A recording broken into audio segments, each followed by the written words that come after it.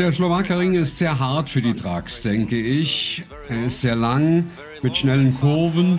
Kurven, die zwei oder dreimal in dieselbe Richtung gehen. Das überhitzt die Vorderreifen, speziell bei diesem Wetter.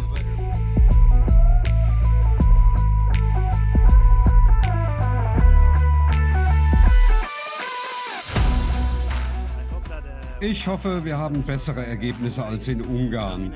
Nun ja, ich mag diese Strecke. Sie ist sehr schön. Sie hat eine Menge Kurven, sehr schnelle Kurven. Ja, ich tue, was ich kann, so viele Punkte wie möglich zu bekommen.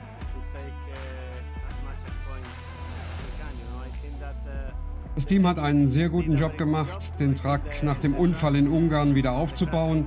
Ich hoffe, alles läuft gut und wir erzielen gute Ergebnisse.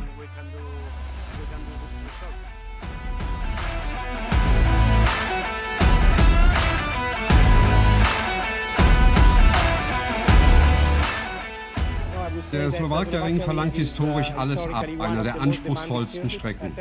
Wir haben hohe Temperaturen, heiße Tage, eine besondere Herausforderung für die Reifen. Aber das ist Teil des Wettbewerbs. Reifenmanagement ist Teil des Wettbewerbs, jedes Wettbewerbs, weil die Reifen einen ganzen Tag halten müssen.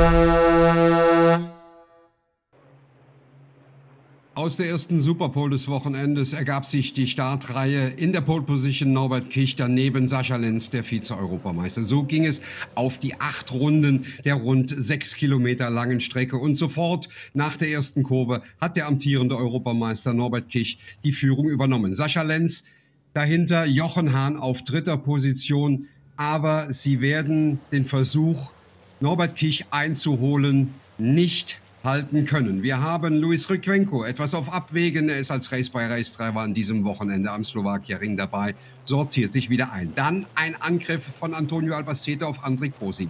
Der Don't Touch Iveco versucht alles, den T-Sport Bernau Piloten hinter sich zu halten. Das gelingt ihm zunächst. Stefanie Halm gegen Adam Latzko. Adam Latzko kommt immer näher und versucht den Schwabentrag Iveco ebenfalls zu überholen. Jetzt ist er in Schlagdistanz. Adam Latzko, der Bagheera Freightliner, noch keinen Sieg hier am Slowakia-Ring hat der Tscheche erzielen können. Aber der Überholvorgang ist geglückt und wir sehen aus dem Fahrzeug von Stefanie Halm, dass Adam Latzko hier eine Position gewonnen hat. Jamie Anderson in einer guten Rennpace. Er greift nach Antonio Albacete, zieht aber zurück, weil er merkt, Dort ist keine Lücke. Dann Albacete gegen Kosim und Anderson schaut sich das ganz genüsslich aus der dritten Position an. So gehen sie auf die Start- und Zielgerade. Anderson immer noch hinter Antonio Albacete, aber Jamie Anderson, der im Qualifying nicht in die Super Bowl gekommen ist, hat eine wirklich tolle Pace. André Kosim verteidigt alles, was er hat. Albacete kommt mit all seiner Erfahrung nicht vorbei. Anderson jetzt im Heck von Antonio Albacete. Aber auch hier keine Chance zu überholen, keine Lücke. Die drei in einem schönen Paket in diesem Rennen. Vorne unstreitig und weit enteilt Norbert Kich, der amtierende Europameister, der mit diesem Rennen seinen sechsten Sieg feiern könnte. Er ist im Moment derjenige, den es zu schlagen gilt. Und er kann sich vor Sascha Lenz und Jochen Hahn durchsetzen. Da kommt der Reves Racing MAN in die Boxengasse, parkt hinter dem Siegerschild. Und ich denke mal, Norbert Kisch wird zufrieden sein. Sascha Lenz ebenfalls auf der zweiten Position. Und er bedankt sich bei seinem Team, der amtierende Europameister. Er weiß, dass sie immer eine tolle Arbeit machen. Ja, danke. Uh, Wir prüfen alles. Die Strecke ist wirklich hart uh, für die Reifen. Du kannst einen Blick auf die Reifen werfen. Sie werden nirgendwo so heiß in der Saison wie hier am Slowakia Ring. Es ist wirklich hart für die Reifen. Ich denke, es ist alles über den Verbrauch der Reifen zu regeln. Das Reifenmanagement im Qualifying und auch im Rennen, ja, sehr schwierig.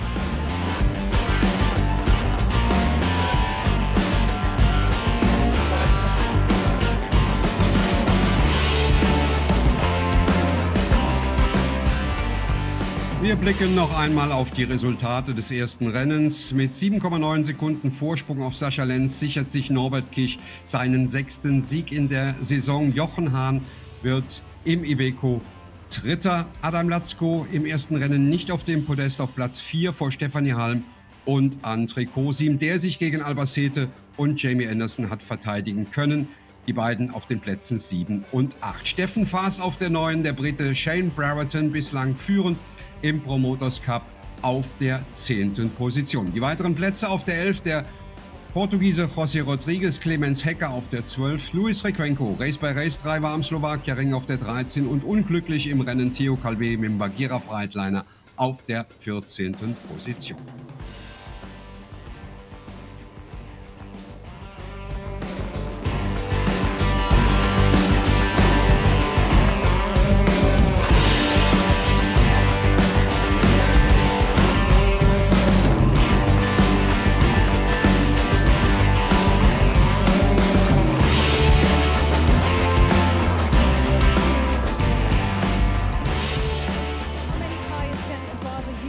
Viele Reifen kann ein Fahrer am Wochenende nutzen? Ja, für die Fahrer der Top 10 ist es erlaubt, sechs Reifen pro Tag zu nutzen, maximal. Sie müssen es managen.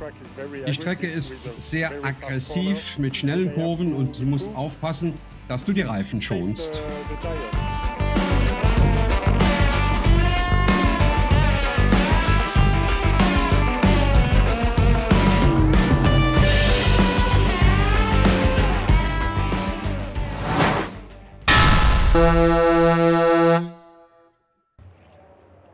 Wie üblich sind die ersten acht im zweiten Rennen im Reverse Crit aufgestellt, das heißt in umgekehrter Reihenfolge des Zieleinlaufs von Rennen 1. Jamie Anderson hat die Pole Position und das ist für Jamie Anderson eine gute Ausgangslage, ein gutes Ergebnis zu erzielen, denn er hat eine tolle Rennpace an diesem Wochenende. Erste Kurve, Anderson in Führung, Albacete auf der zweiten Position. Das Feld ordnet sich dahinter ein. Anderson kann ein bisschen Abstand nehmen zu Antonio Albacete, der wiederum Jochen Hahn im Rücken hat, Steffi Halm im Rücken hat.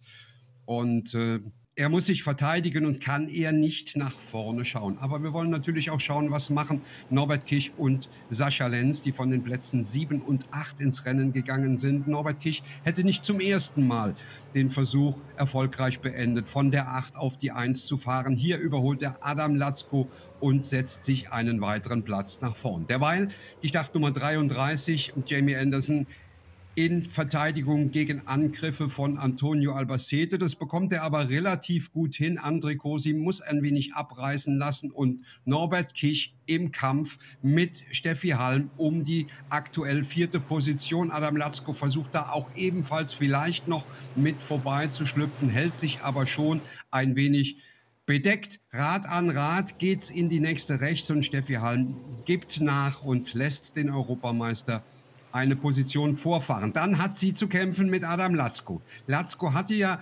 beobachtet, wie der Kampf zwischen Kich und Halm ausgeht und versucht jetzt seinerseits anzugreifen. Jochen Hahn hinter Steffi Halm, Schwabentrack gegen Team Hahn Racing. Sascha Lenz steckt so ein wenig fest hinter Jochen Hahn, währenddessen Norbert Kich unaufhaltsam in Richtung Spitze Maschinen. Cosim im Iveco von Don't Touch Racing versucht sich zu wehren, dann kommt das Rad an Rad Duell. Beide lassen sich schön Platz und Norbert Kich ist in dieser Rechtskurve auf der inneren Linie. Das bedeutet, er kann André Kosim überholen. Sascha Lenz findet noch keinen Weg an der Startnummer 4 am sechsfachen Europameister Jochen Hahn vorbei. Fällt im Übrigen sortiert Steffen Faas, Theo Calvé, Shane Brereton, alle etwas im Hinterfeld angesiedelt, da sie nicht unter den Top 8 im ersten Rennen waren. Anderson gegen Kich und Albacete. Kich setzt sich gegen den Spanier durch Nein, kommt nicht. Jetzt kommt der Angriff erneut in der Links-Rechts-Kombination hier am Slowakia-Ring. Und da wird jetzt Norbert Kisch im Beschleunigungsduell vermutlich die Nase vorn haben. Und Albacete wehrt sich mit Kräften, aber gegen den Reves Racing MAN ist in diesem Jahr kaum ein Kraut gewachsen. Jamie Anderson verteidigt sich bis zum Ende gegen Norbert Kich und erzielt in seinem 87. Rennen den ersten Gesamtsieg in Rennen 2 und das ist eine Genugtuung für Jamie Anderson. Er hat den Europameister hinter sich gelassen und kann Rennen 2 am Slowakia-Ring gewinnen. Die Fans sind begeistert und der Anderson-Truck steht in der Mitte. Norbert Kich auf zwei, Antonio Albacete letztendlich auf dritter Position. Ein Riesendankeschön natürlich von Jamie Anderson an sein Team. Es ist gut für uns hier, nach dem Drama in Ungarn, im zweiten Rennen auf der Pole zu starten und auf dem ersten Platz zu enden. Sich mit den besten Fahrern zu messen in einer tollen Meisterschaft ist eine gute Erfahrung. Zum ersten Mal ganz oben bei einem Hauptrennen. Jamie Anderson, Norbert Kich auf der 2 nach seinem Sieg im ersten Rennen und Antonio Albacete mit einem Podiumsplatz für T-Sport Bernau.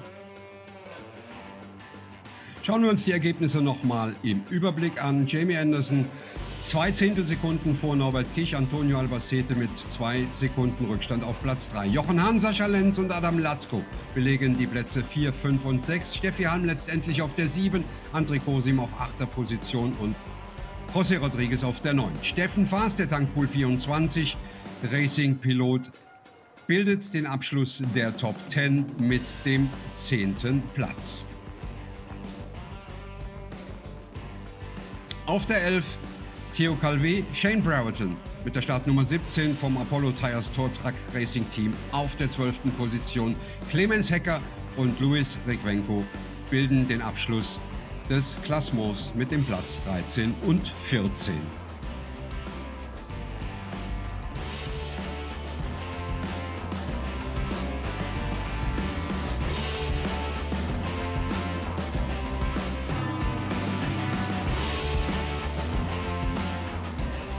Die ersten Worte nach dem Qualifying, Platz 6, uh, aber du hattest wirklich ein paar schnelle Runden. Uh, Bist du zufrieden mit dem Resultat des Qualifyings? Ah, der erste Teil des Qualifyings war sehr gut. Dann haben wir ein bisschen was verändert. Aber in der Superpole uh, hatte ich zu viele Probleme mit den Vorderreifen. Ich konnte nicht richtig einlenken und daher war es nicht möglich, eine schnellere Zeit zu fahren. Du hast gestern gewonnen, zweiter Platz im zweiten uh, Rennen. Du bist erneut Erster für dieses Rennen. Ja klar, wir haben die Pole Position, wir haben eine gute Geschwindigkeit und einen Vorteil. Aber Sascha ist immer gut am Start. Ja, es ist schwierig, aber ich versuche mein Bestes, ich versuche vorne zu bleiben und zu gewinnen.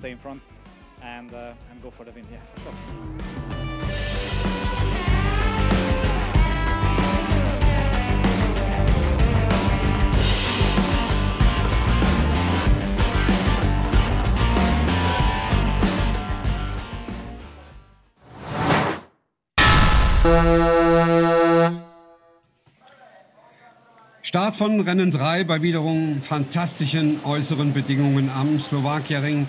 Reihe 1 wieder mit Norbert Kich auf der Pole Position, Sascha Lenz auf dem zweiten Platz und Sascha Lenz hat die zweite Chance, Norbert Kich auszubeschleunigen in der Anfahrt auf die erste 90 Grad Rechtskurve. Aber wenn man auf der rechten Seite am Slowakia-Ring startet, hat man eine bessere Möglichkeit in Front zu gehen und da hält Sascha Lenz dagegen, solange es nur irgendwie geht. Die ersten zwei, drei Kurven versucht er alles, den antierenden Europameister ein wenig aus der Fassung zu bringen, ihn vielleicht in einen Fehler zu treiben. Aber dann ist es passiert. Dann hat Norbert Kich das bessere Ende für sich und kann die Führung in Rennen 3 übernehmen. Sascha Lenz direkt und dicht hinter ihm lauert auf eine nochmalige Chance vielleicht an dem Ungarn vorbeizugehen. Adam Latzko auf der 3, Jochen Hahn auf der 4, Antonio Albacete auf der fünften Position. Also das sind die Big Boys, die hier den Pace und die Geschwindigkeit bestimmen. Jamie Anderson dann auf 6, Steffi Halm auf der 7, André Kosim auf der 8, Jane Brereton und Steffen Faas auf den Plätzen 9 und 10. Theo Calvi kann sich auch in diesem dritten Rennen nicht sonderlich in Szene setzen. Insgesamt für ihn ein unglückliches Wochenende. Der Tankpool 24 von Steffen Faas in Ungarn noch sonntags mit technischen Problemen ausgefallen, konnte hier wieder das komplette Wochenende bestreiten und für Steffen Faas sollte es gerade im Promoters Cup ein sehr erfolgreiches Wochenende werden. Jochen Hahn greift nach Adam Latzko. Der Iveco aus dem Hause von Team Hahn Racing performt gut, versucht den Bagheera Freightliner hier eine Position nach hinten zu drängen, aber Adam Latzko kann mit all seiner Erfahrung das verteidigen. Dann macht er einen kleinen Fehler, den der sechsfache Europameister natürlich sofort ausnutzt. Er geht längsseits rechts an Adam Latzko vorbei, dann kommt das Beschleunigungsduell und dann überholt Hahn außen. Tolles Manöver, währenddessen wir hier auch mal den Arbeitsplatz von Steffen Faas sehen, wo dann zwischendurch mal gerade etwas verstellt wird auf den langen Graden. Adam Latzko hatte es gesagt, gibt es viel zu denken, da hast du schon mal ein bisschen. Shane Brereton, der um die Führung im Promoters Cup an diesem Wochenende bangen muss, ob der Leistungen von Jamie Anderson, er kämpft sich auch ein wenig nach vorne. Steffen Faas im Angriff auf Shane Brereton. Auch er rechnet sich natürlich für den Promoters Cup noch etwas aus. André Kosim verteidigt im Moment seine Position gegen Brereton, währenddessen Antonio Albacete versucht, an Theo Calvé vorbeizukommen. Das funktioniert auf den ersten Blick. Dann gibt es aber einen kleinen Kontakt und dann geht erstmal der T-Sport Bernau MAN übers Gras und unglücklicherweise muss er sich dann hinter José Rodriguez, dem Portugiesen mit der Startnummer 14, einsortieren. Die beiden Plätze hat er verloren. Norbert Kich in überlegener Manier auch Sieger des dritten Rennens, sein siebter Saisonsieg. Und Sascha Lenz und Jochen Hahn komplettieren bei diesem dritten Rennen das Siegerpodest. Hier kommt der Reves Racing MAN. Es war ein gutes Rennen. Der Start ist immer eng. In den ersten beiden Kurven sind wir nebeneinander gewesen. In Kurve 3 kam ich nach vorne und habe ein wenig Abstand hergestellt. Ja, gutes Rennen. Das Team hat einen guten Job gemacht mit dem Truck, mit dem Setup. Sie haben alles richtig gemacht. Über die gesamte Zeit hatten wir ein gutes Reifenverhalten. Ich bin sehr glücklich mit dem Wochenende bis hierhin. Schöner Sieg und ich bin sehr glücklich.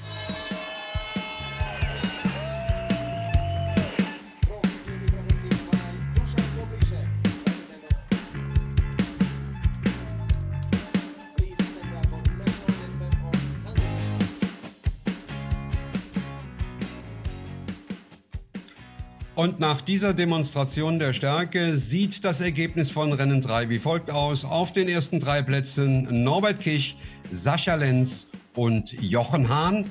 Wieder kein Podium für Adam Latzko, der immer noch nach seinem ersten Sieg lächzt, aber es war die vierte Position. Jamie Anderson, sehr guter fünfter Platz, Steffi Halmhoff der sechs, André Kosim belegt Platz sieben. Shane Brereton, Steffen Faas und Theo Calvé auf den Plätzen 8 bis 10. Theo Calvé mit seinem ersten Top 10 Resultat im Bagheera Freightliner an diesem Wochenende.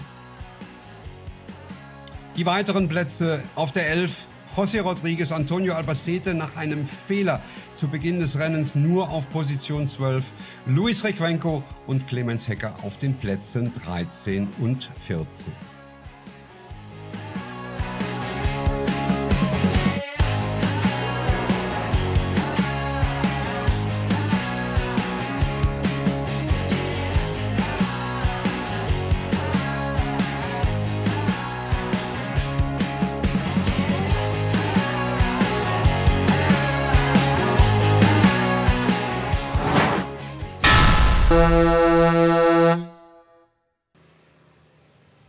Das letzte Rennen am Slowakia-Ring sah Shane Brereton im Reverse Crit auf der Pole Position neben ihm André Kosim, der sich für dieses Rennen einen Podestplatz ausgerechnet hat. Dann geht das Feld in die erste Runde. Da gibt es sofort eine Kollision zwischen Jamie Anderson und André Kosim.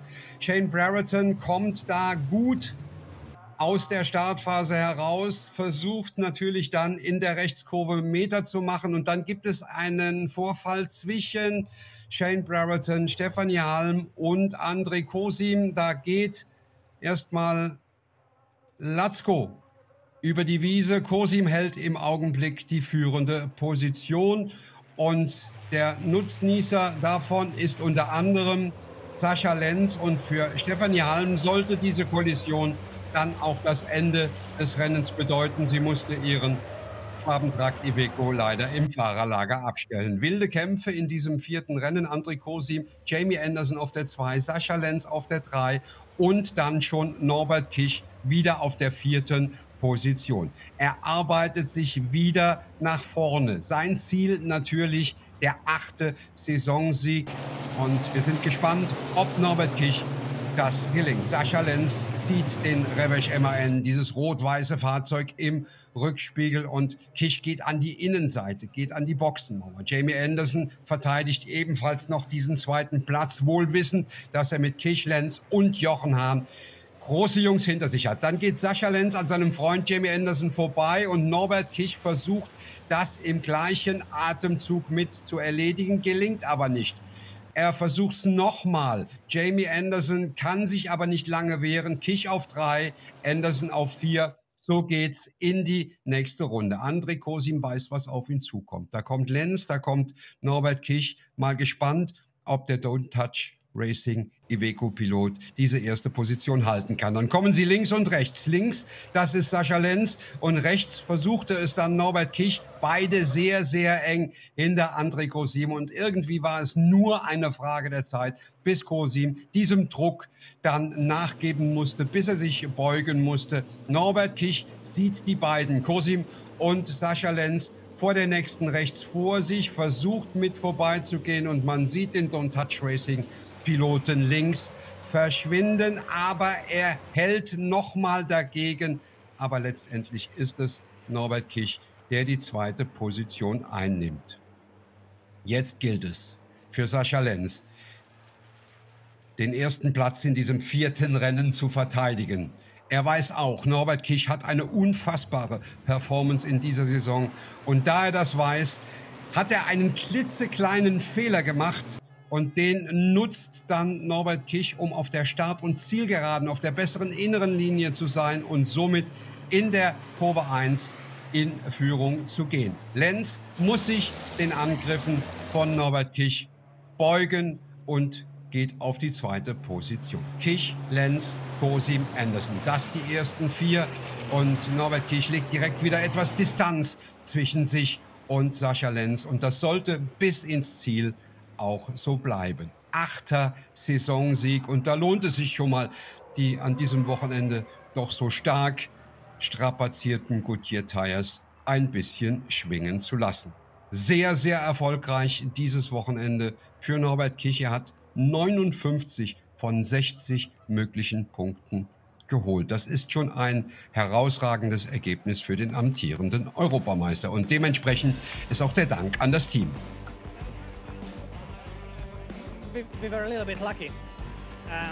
wir haben ein bisschen Glück gehabt in der ersten Runde. Äh, in der ersten Runde gab es vor uns einen Unfall mit Jamie, einen weiteren Crash mit Shane und Steffi und Adam. Und da sind so ein paar Kotflügel geflogen. Ich sah, dass die Windschutzscheibe von Jochen gebrochen ist. Ich meine, nicht meine, aber die von Jochen. Das ist mir auch schon passiert. Es ist wirklich schwierig, mit einer kaputten Windschutzscheibe zu fahren.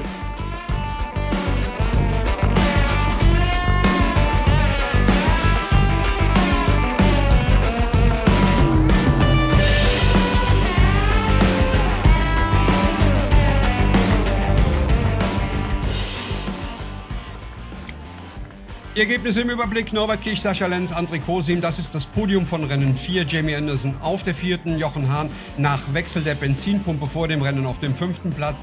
José Rodriguez, Antonio Albacete, Adam Latzko auf den Plätzen 6 bis 8, Steffen Faas und Clemens Hecker im Scania auf den Plätzen 9 und 10. Elfte Position geht an Shane Brereton, Luis Frequenco wird Zwölfter und Theo Calvé auf dem 13. Platz. Das ergibt für die Gesamtwertung folgendes Bild. Norbert Kich 160 Punkte, Sascha Lenz 128 Punkte. Schon ein guter Vorsprung für Norbert Kich. Jochen Hahn auf der 3 in Schlagdistanz zu Lenz mit 115 Punkten. Die weiteren Plätze Adam Latzko, Antonio Albacete, Stefanie Alm, André Kosim auf der 8, Jamie Anderson auf der 9, Shane Brereton und Theo Calvé mit 20 Punkten auf der 10. Position.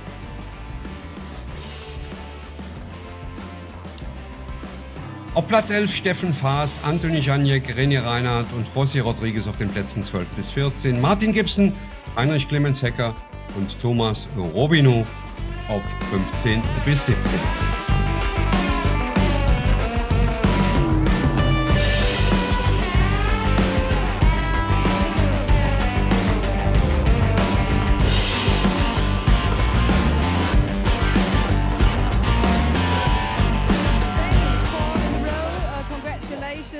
Jamie, vierter Platz. Herzlichen Glückwunsch. Was für ein großartiges Wochenende für dich. Wie genießt du diesen speziellen Moment? Ja, ein wirklich gutes Wochenende für uns. Wir sind in der Meisterschaft nach vorne gekommen im Promoters Cup. Wirklich ein gutes Wochenende. Das Qualifying am Samstag war so ein wenig wie ein Albtraum, aber das Team hat einen fantastischen Job gemacht.